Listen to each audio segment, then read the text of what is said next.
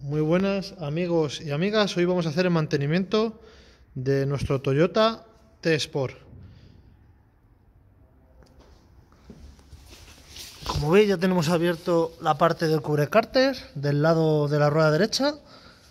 Le hemos quitado, ya lleva un ratito vaciando. Le hemos quitado el tapón, tapón de 14 y aquí lleva el filtro de aceite. Lo giramos con la mano no vamos a poder. Ah, mira, sí, no va tan, tan duro, ¿vale? Si no, pues con alguna llave que tengamos. Y lo dejamos escurriendo. Bueno, voy a enseñar los materiales que yo he comprado. Filtro de polen. A ver, la referencia. Será esta la referencia, que ahora mismo no me acuerdo. De carbón activo, tiene un montón de, de características. El filtro del aire. Aquí. Filtro de aire. Filtro de aceite. Aceite y líquido de frenos. El líquido de frenos no lo voy a grabar, pero es como siempre. Eh,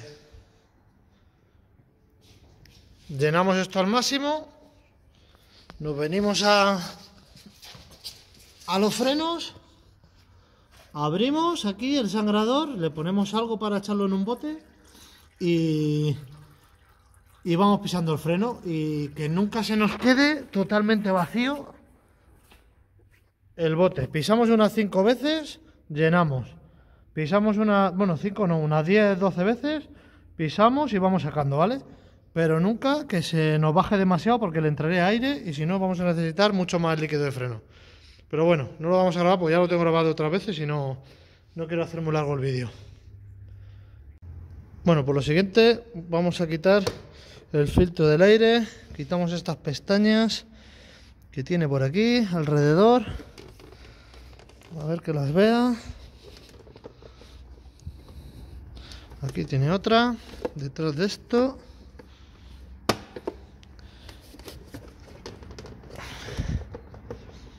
Y si no recuerdo mal, tiene que tener... Aquí, aquí la tiene. Ahí está. Lleva tres. Y ya con esto tenemos que ir jugando con él porque encaja aquí y encaja en otra más de aquí y es que con una mano, ¿no ves? Ya, ya la voy teniendo. Abrimos. Bueno, es que con, con una mano no puedo. Vale, como veis, lleva esta y lleva esta, que es que con una mano pues es complicado. Y aparte tampoco cede mucho, pero ya con esto lo suficiente para llegar y poder cambiarle. Pues ahora vamos a cambiar el filtro del polen o de habitáculo Ojo que lleva posición, ahí lleváis la, flecha de la dirección del aire. Bueno, vamos a abrir la guantera. Y estas pestañas que tienen aquí, ¿vale? Subo un pelín la guantera, ¿vale? A ver si puedo grabarlo bien. para que no apoye, subo un poco, ¿lo veis? Aquí estaría, aquí estaría abajo el to. Subo un pelín, ¿vale? A ver, que lo pueda grabar bien.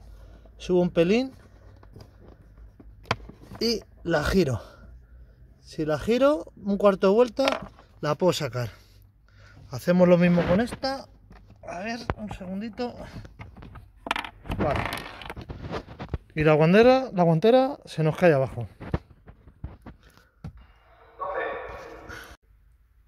Continúo. Una vez que ya estamos en este punto, apretamos estas pestañas, estos laterales y tiramos hacia afuera. Y aquí ya tenemos el filtro viejo. Vale, este es peorcillo, este es un filtro normal. Este es de carbón activo. De carbón activo, fungicida, bactericida y no sé qué características más. La posición de la flecha tiene que ir así, hacia abajo. Bueno, pues una vez ya puesto todos los filtros, echamos el aceite. Lleva 4,1. O por lo menos eso es lo que me ha llenado a mí y nos venimos aquí aquí, bueno, donde queráis. Como no lleva para resetear el mantenimiento, yo le pongo la etiqueta. A ver si se ve más o menos. Bueno, el día, la fecha, aceite, lo que se le ha hecho y la próxima revisión. Un año o 15.000 kilómetros. Lo que antes suceda. Así que nada, poco más. Espero que os haya gustado. Un saludo y cualquier duda, preguntar.